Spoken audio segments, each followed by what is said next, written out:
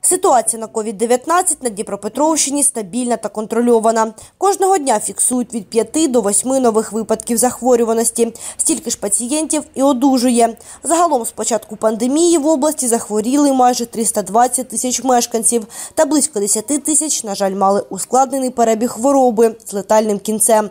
Заступниця директора департаменту охорони здоров'я зазначає, такий низький рівень захворюваності завдяки минулорічному масовому щепленню населення.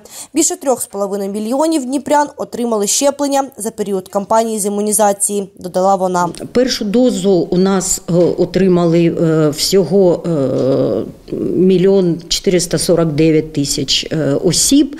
І мільйон 408 тисяч це друга доза, але ж бустерну дозу в нас на сьогодні е, е, отримали е, 667 тисяч осіб. Тобто не всі люди, які отримали дві дози, прийшли отримати бустерну, і це нас дуже непокоїть. І з цього приводу ми ще раз звертаємося через засоби масової інформації, запрошуючи все ж таки прийти і отримати бустерну дозу.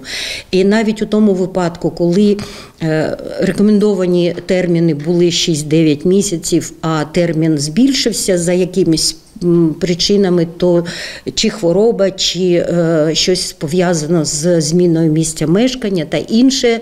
Е, будь ласка, якщо навіть ви пройшли термін, коли рекомендувалось отримати е, бустерну дозу, її треба піти отримати зараз, коли не така висока е, захворюваність, коли є можливості і ще в амбулаторних умовах нема сезонного зростання інших захворювань, тому е, спокійно можна запланувати і прийти і отримати ту бустерну дозу, щоб ми все ж таки е, збільшили відсоток захищеного населення, бо нас попереду